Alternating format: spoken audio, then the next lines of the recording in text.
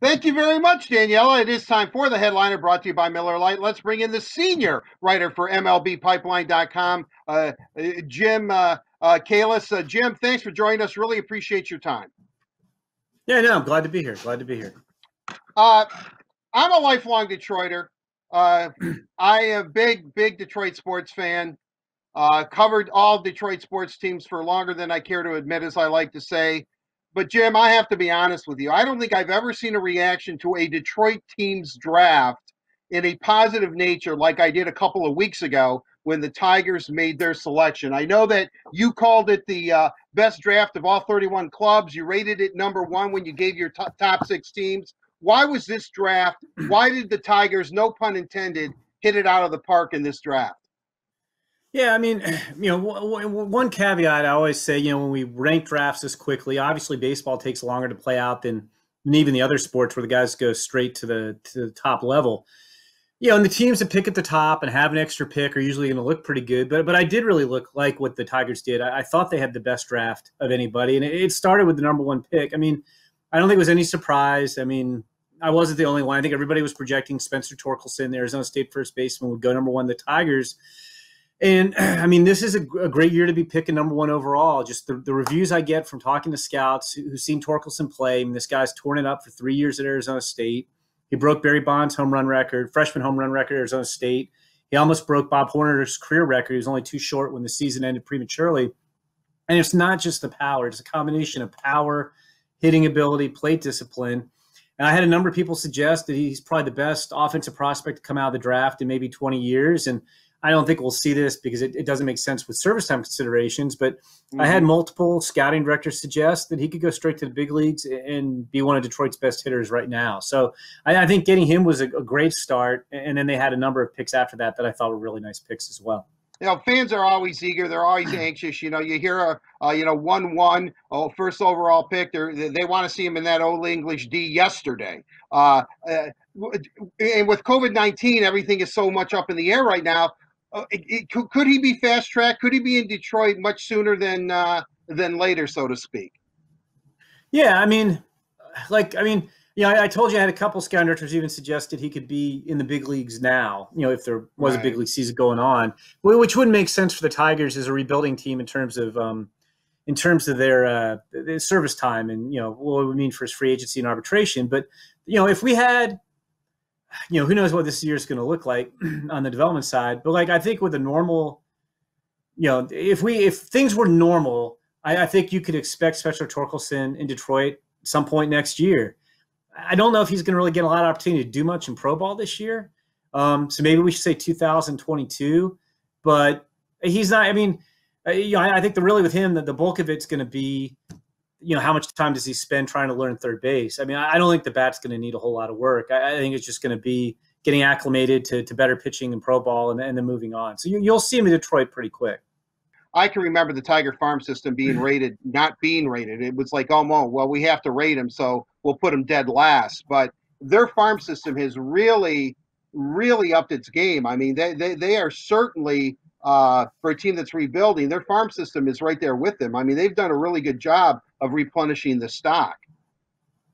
Yeah, they have. I mean, we have them. We had them going into the spring as the fifth best farm system in baseball. you know, before I was with MLB, I worked for a long time at Baseball America. And even a few years before I got to Baseball America, they started ranking organizations and farm systems. I think in the mid '80s, like around 1983 or four.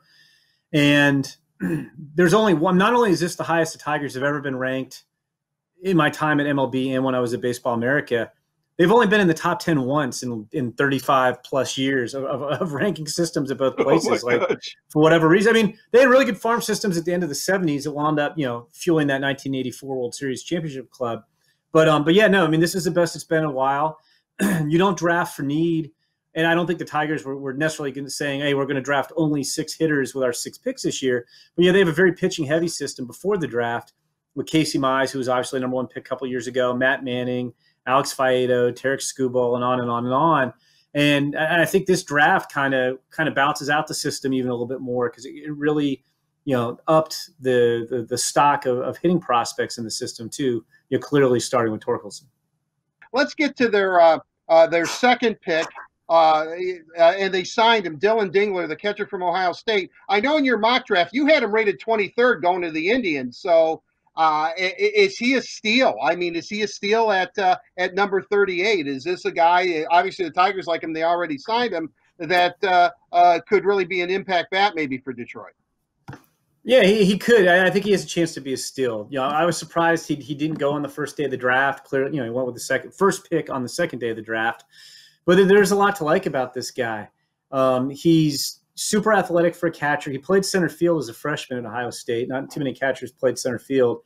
He can run a 6'6", Not that you're running sprints, but a lot more agile behind the plate than your typical catcher. He's got a well above average arm. It's a really, really good arm. And, he came on offensively this year. You know, he didn't have a big year last year, but he also he played through a broken hamate and he didn't play summer ball last year. So I think he was flying under the radar a little bit coming in this year. You know, got off a really good start this year. He, has got plus raw power. He controls the strike zone.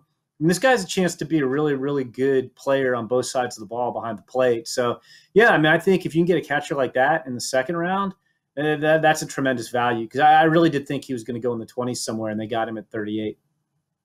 When I heard with their uh, competitive balance pick, uh, secondary second round pick at 62, that they were able to get Daniel Cabrera, and, I am not a, a, a, jap, uh, a, draft guru by any stretch of the imagination.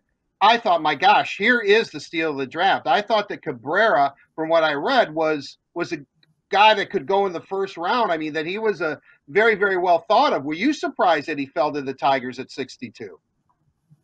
Yeah, a little surprised he went at 62. I, I didn't quite. I, I thought he was going to be more in that kind of I don't know, 30 to 45 range. And to be honest, part of it may have been, we'll have to see what he signs for you know, it, it, could have been a signability issue. You know, especially I, I don't know what his bonus is going to be, but if the die, if the if the can't speak Tigers sign him for more than his slot value, then it's possible that you know, he fell because of signability. Um, I like him. He, he's one of the best left-handed hitters in the college ranks this year. Really nice swing.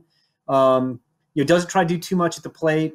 You know, the, I, you know, one th- reason he probably didn't go a little bit higher. And he's a good player. He's, you know, he never really put up a monster year at LSU. For a guy who's always regarded as like one of the best hitters in college baseball, he never had that year where he hit like 380 with 17 homers or, or something. But he's he's a good hitter. You know, probably average runner. You know, played right field this year, left field in the past. You know, maybe you try him in center. You know, the bat's probably going to have to be the the carrying tool. But yeah, I, I, think to get that bat there was a, was a nice value. Also, I, I thought they got pretty good value with, with all their picks. Um, you know, again, not that people are drafting off of our list, but you know, you know, Torkelson we had, had ranked number one, but all their other guys they got you know 15 or 20 spots lower than we had them lined up on our top 200, with the exception of Trey Cruz. And it's not like Trey Cruz was a reach; he, he was just the one exception. But most of these guys, if if people just been drafting off our list, which again, I'm not suggesting anybody would have done, you know, Dillon Dingler goes in the first round. Cabrera, we actually had ranked 38th, so he would have gone with the Dingler pick. You know, he would have been the first pick in the second round. Gage Workman would have been a third rounder. Colt Keith would have been a third rounder, and Trey Cruz would have been a fourth rounder. So I mean, they got a they got a lot of value out of their draft. I thought. Uh, you know, uh, when you look at Trey Cruz, who the Tigers have also signed, he, uh, you know, the pedigree's there. I mean, Jose Cruz and Jose Cruz Senior. I mean, you know, they, they you know, if they, they certainly knew how to play baseball. Uh, a shortstop. Tigers need shortstops. Played at Rice. What can you tell us about him? Yeah, you know, he had he had two of uh, his great uncles play in the big leagues too. So so really nice bloodlines wow. there. He's a switch switch hitter. You know, he was draft eligible last year. You know, wasn't real signable. You know, went in the 37th round of the Nationals, and he got better this year, even though it was only four weeks scouts liked like the improvements they saw that him make this year. He's a switch hitter. He used to have a big leg kick from the left side of the plate. Kind of toned that down. Looked a little bit more stable offensively. You know, I think he's going to be a guy who hits for average. You know, 15 to 20 homers maybe. You know, he's not a great runner, but after being more like a below average runner in the past, he, he was closer to average this year. Um, I don't think he sticks at shortstop. He's just kind of okay there. But you know what you saw him this year, you felt better about his chances at staying. You know, maybe moving to second base and staying there. You could potentially could play third if he hits for enough power. But you know, I, I thought he helped himself this year. The, the, area scouts I talked to in Texas liked the strides he made a lot this year. Um, and you know, again, interesting bloodlines, and you know, if he makes it, he'll be the the third generation and, and fifth member of his family to play in the big leagues. Well, that's uh, that's quite as you said, quite a pedigree. We've already kind of touched upon him. The uh, the real third baseman for Arizona State, uh, t- uh, Spencer Torkelson's uh, uh, teammate, Gage Workman, really a good power hitter. Seems to have some tools. I, I, would imagine the Tigers would like him to cut cut down his strikeout rate, perhaps. But he also seems like a player that, with the right kind of seasoning, that he could be a Tiger someday too. Yeah, no, I mean he's interesting. Also, like I said, you know, he probably would have been a third round pick. He is a power over hit guy right now, but he's a switch hitter with pretty interesting pop. Really good athlete. You know, quality third baseman. Might have been the best defensive third baseman in the college ranks, like I said. And again, you know, I, I mentioned Alika Williams, who the Rays took in the supplemental first round was their shortstop. You know, Workman might have been a shortstop on a lot of college teams. So he's he's a real interesting guy too. He, he's got more upside than your typical fourth round pick. Well, in the fifth round, uh, I know uh, MLB Pipeline uh, you guys rated him as your favorite pick, and we just talked about uh, uh, uh, players that you were impressed with that the Tigers drafted. The high schooler, the Gatorade Mississippi High School Player of the Year. Tigers also signed him, Colt Keith. Uh, uh, I, I, I think I've said we, have talked about five players, and almost all of them, except Torkelson, could be the the steal of the draft. But Colt Keith is a very, very interesting pick. He's he's MLB Pipeline's favorite pick. What about Colt Keith? What uh, uh, I, again? I, did it come down to signability? I mean, he was pretty vocal about I have a number, and if I don't hit that, I'm going to Arizona State. Yeah, well, when they signed him, you know, for five hundred thousand dollars, which is you know only about seventy four thousand over the the slot value at five. So I don't know if he had a higher number early and came off of it as the draft was getting ready to end in the fifth round, and you know I mean, look, they knew they weren't going to keep these guys probably, but Arizona State can't be too happy with the Tigers. they took Torkelson, they took Workman, and Cole Keith is probably you know would have been their third baseman next year. My dogs are going a little nuts in the background. Cole Keith would have replaced Workman at third base last next year if um you know if he'd gone to college. But no, he's real interesting too. I mean, he's a guy who I think can hit for average and power, left-handed bat.